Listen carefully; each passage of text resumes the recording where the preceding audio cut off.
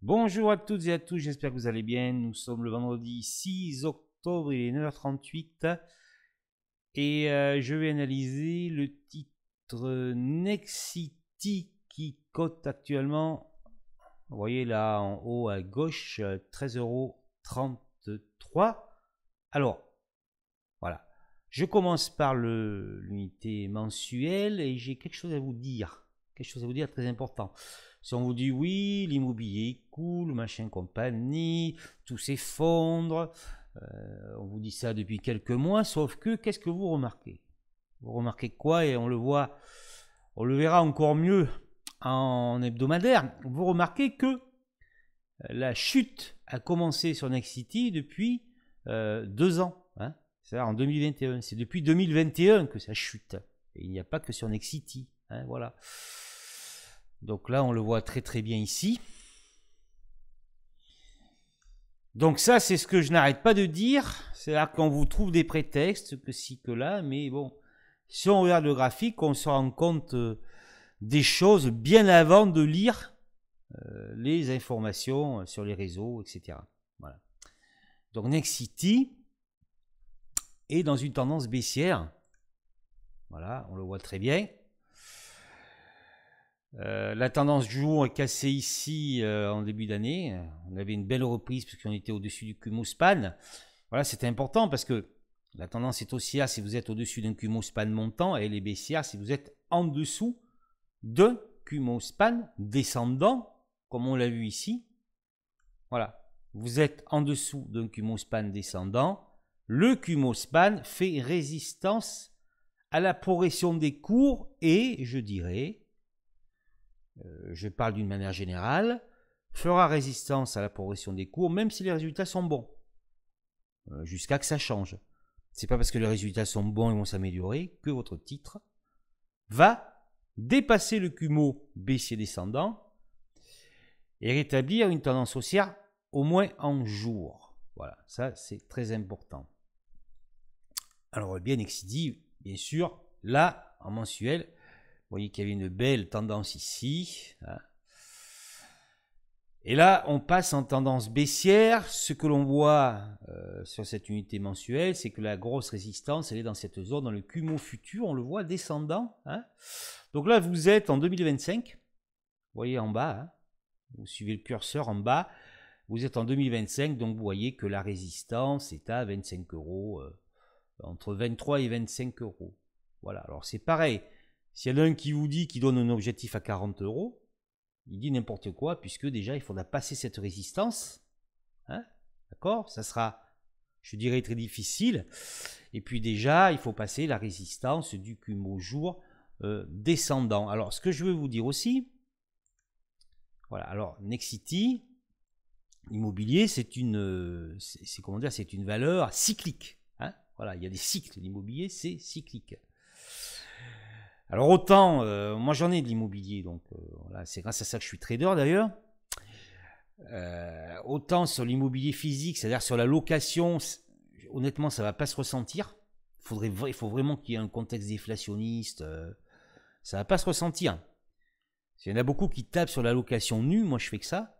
Et je peux vous dire que pour moi c'est une énorme assurance de prospérité. Mais euh, sur les retournements, euh, au niveau des actions, par contre, ça prend beaucoup plus cher. On voit une eBay, par exemple, une eBay qui était une très belle valeur, mais qui, voilà, qui s'est complètement effondrée. il distribue toujours un dividende, certes, mais bon. Voilà. Ce que je veux vous dire, c'est quand vous êtes en bas, c'est cyclique. Donc, au bout d'un moment, ça va se redresser. Là, en 2008, vous voyez le curseur ici, en 2008, voilà, il vaut 2 euros. Ceux qui ont acheté là, eh bien voilà, vous avez compris, ils ont touché le dividende parce que Nexity a toujours versé un dividende, toujours versé un dividende.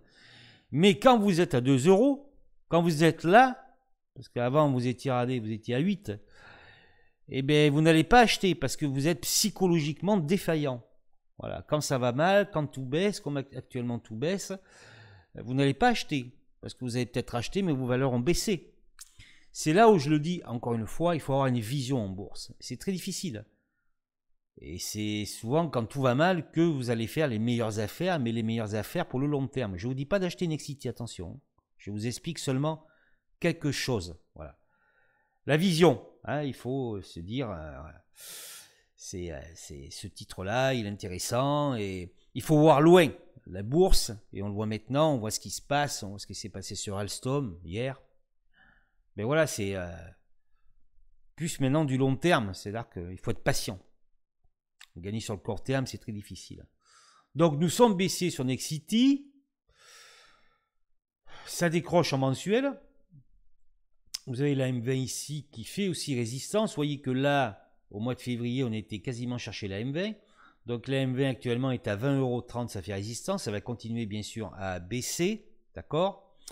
Et donc ce qu'on remarque, pourquoi le titre tergiverse ici C'est très simple parce que vous avez une ancienne résistance ici.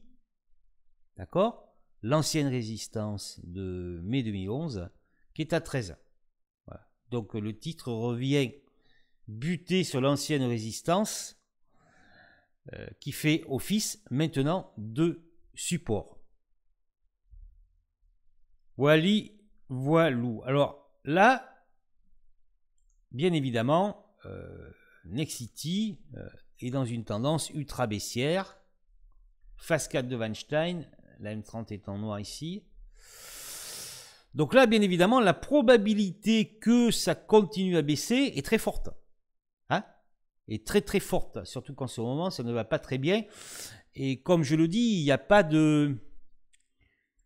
Je, parle, je reparle un petit peu d'Alstom. Est-ce que, est que la chute de 35% est justifiée sur Alstom, à votre avis? Est-ce qu'elle est justifiée? Ben non, elle n'est pas justifiée.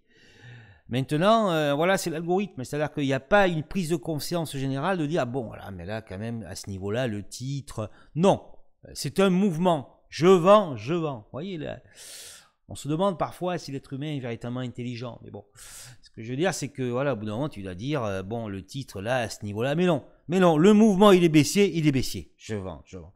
Parce que l'intérêt, c'est pas, c'est pas l'action. L'intérêt, c'est de faire euh, du profit. Voilà tout est bon pour faire du profit, c'est ce que je veux dire. Donc là, ça peut continuer à baisser. Et ça peut continuer à baisser, c'est très simple, vers les anciens points bas euh, long terme. Hein, hein, c'est-à-dire euh, ici, là, regardez sur la droite, le chiffre jaune vers 11 euros, euh, vers 8 euros, vers 7,70 euros. Hein. Là, il y a une grosse, un gros support 7, euh, 8 euros. Hein, voilà. Et on ne peut écarter malheureusement que Nexity. On ne peut l'écarter que Nexity euh, descende à ce niveau et rejoigne déjà les 11. On ne peut l'écarter, surtout que maintenant, la sanction peut être terrible. On l'a vu sur Alstom. Il y a eu quelques sanctions terribles cette année sur quelques titres que je connais très bien. Mais là, 35, ça fait beaucoup. Donc on ne peut écarter une, chute euh, supplémentaire du titre, surtout si au mois de février, lorsqu'ils vont annoncer le résultat, ils annoncent un dividende déplorable. Alors là, ça risque de faire très mal. Mais comme je vous le répète, c'est cyclique. La probabilité que Nexity euh, fasse comme AST Group, par exemple, s'effondre totalement est très faible quand même. Est très faible, d'accord? Est très faible. Hein elle peut baisser, mais au bout d'un moment, elle se redressera. Et normalement, ils doivent conserver un certain dividende, puisqu'ils l'ont toujours fait, même lors de la crise de 2008. Voilà, donc là, moi, je vous annonce le tableau. C'est vrai que ça peut continuer, notamment tant qu'on est en dessous de ce Kumo span. Alors, à court terme, c'est pas super, hein? À court terme, hein? Voilà. C'est toujours la même chose. Vous voyez? On reste en dessous. Vous voyez? Du Kumospan 4 heures qui fait résistance. Alors des fois, on monte un petit peu dessus, mais on le dépasse un peu, en rechute. Tant qu'on n'est pas dans une, configuration comme celle-là, hein, ici, vous voyez? En novembre 2022, où vous passez au-dessus du Kumospan, qui est montant, euh, que SSS, SB font des angles, Là, c'est haussier. D'accord? Tant que. Ce que je veux dire, c'est qu'on peut avoir n'importe quelle nouvelle, n'importe quelle même bonne nouvelle. Si vous êtes. S'il y a une bonne nouvelle que vous êtes euh, sur un schéma comme ça, le titre, il va baisser. Il peut peut-être faire un petit pullback haussier comme ça, mais il va rebaisser. Vous comprenez? C'est une histoire de tendance graphique, la bourse. C'est rien de plus, et rien de moins. Alors voilà, euh, c'est baissier. Et on aurait bien sûr baissier. Alors vous voyez qu'il y a une petite euh, impulsion ici horaire. Le but maintenant, c'est de redépasser le Kumospan et euh, si vous voulez de, de, de, donc de faire une, tendance euh, haussière au-dessus du Kumospan. Donc il y a plusieurs résistances. On le voit l'horaire par exemple, les résistances sont hauts, on le voit c'est au niveau des points hauts. Donc là vous avez les 15, les 15,50. Pour ce qui est de l'horaire, il y en a un petit peu ici, donc déjà nous avons les 14, 20. Voilà. Le but, c'est de rejoindre ces plus hauts, de relancer une dynamique haussière sur le Span et de redépasser ces plus hauts pour justement faire de, des plus hauts de plus en plus hauts et récupérer une tendance haussière. On voit le 4 heures, donc 15,40, vous voyez 15 ici, le Span en, en résistance ici. Le jour, c'est exactement la même chose. Donc, euh, tendance baissière sur Nexity, prudence, bien évidemment, euh, à long terme, bon, voyez, 2008, après c'est remonté à long terme, le dividende à long terme. Mais effectivement, le titre va sûrement se reprendre. Après, euh, voyez, moi je ne suis pas du genre à vous dire euh, oui, mais je donne comme objectif à un an. non, ça c'est, on peut pas le savoir. Donc là, vous voyez que là, c'est la réintégration du Kumospan trimestriel, par exemple. On a toujours ces, voilà, les 20 euros, vous voyez ce que je vous disais tout à l'heure, là la zone 20 28. Hein voilà. Donc, euh, sûrement que Nexity reviendra dans cette zone. Mais quand? On ne peut pas le savoir. Voilà. En tout cas, ce qui est certain, euh, c'est baissier sur l'action. Et si on regarde un petit peu en hebdo, Allez, on va faire... On va l'épaissir. Voilà, regardez les anciens points bas. Donc là, on est sur le, les fameux 13, l'ancienne résistance. D'accord? On le voit, hein? C'est pour ça que ça résiste. Et là, ben voilà. Après... Euh, si on casse les 13, on a une zone ici vers euh, les 11. Et après, vous voyez les points bas vers les 8, 20. Voilà, ce sont les objectifs à moyen et long terme sur Nexity tant que nous sommes en dessous d'un Kumospan et notamment le Kumospan jour. Hein, jour, c'est important. Voilà. Je vous remercie de votre écoute. Merci d'être resté jusqu'à la fin. Euh, vous avez toutes les solutions pour vous aider sur mon site. Je fais régulièrement des promotions. N'hésitez pas à me contacter si vous avez besoin. Voilà, tout est là pour vous aider. Et n'hésitez pas, et surtout, très important, vous lisez les commentaires, les témoignages. Voilà, moi je paye pas les gens pour faire les témoignages, il y en a qui le font. Et là, vous pourrez vous rendre compte de la qualité de mes solutions. À bientôt.